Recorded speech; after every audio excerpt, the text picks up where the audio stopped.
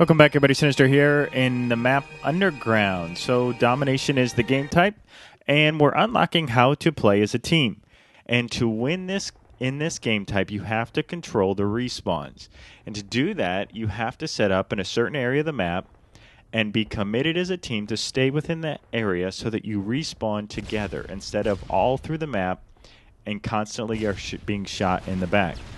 Now, Underground is a city that it's a map that's set in a London subway station.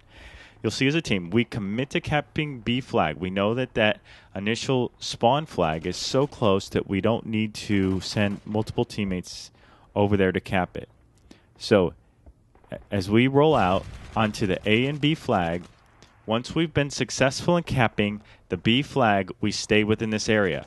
The benefit here is if you can hold B and then set up in the cafe in the lower right hand portion of your screen, you can shoot down the sidewalk and prevent any recapping from the other team.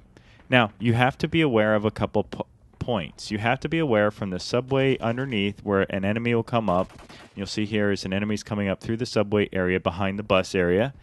And it is Ish is holding down that A flag I am covering him from the flower pots from any movement from the middle part of the of the central building, the train station area.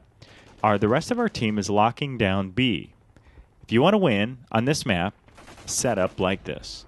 You will win 95% of your games. Now, there are always exceptions. If the team is way better connected, if they have way better organization, if they just dominate you in one particular area of the map, you, may not always be successful. But if you sit up here like this, this pie or half semicircle, you will respawn on your teammates. So even if you lose a gunfight, you're right back in protecting and covering your team. So if an enemy kills you, you'll respawn right back on him and kill him right away. This is the frustration that many of us have been experiencing. We're wondering, why do I kill somebody and then they respawn right on me? Well, if the other team is set up in a disciplined way, that will happen.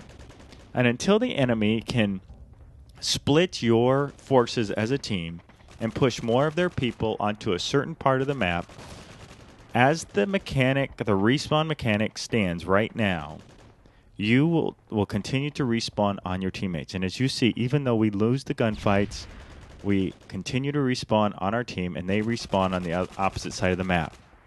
And you'll see our perfect lineup here and setup pushing the, pushing their respawn all the way on the top side of the train station. Frustrating for the other team. Is it satisfying for us? Yes. Once we reach a point where we feel that the other team cannot win, we then put on a rush class and rush through, and everybody has their way. So we are committed to winning first, kill second. If that's your goal, if it's your goal to win, then set yourself up as a team. Like any good team, you have to have good setup in any sport to win successfully. Does that mean you can't have fun? Well, Ish does really well and gains kill streaks as the other team continues to rush like like um, ships onto the ocean shore, just being just demolished onto the rocks.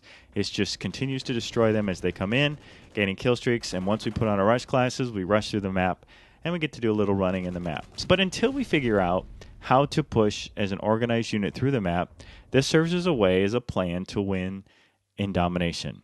Okay, hopefully you've learned something. Synistr here. Until next time, I'll catch you on Xbox Live.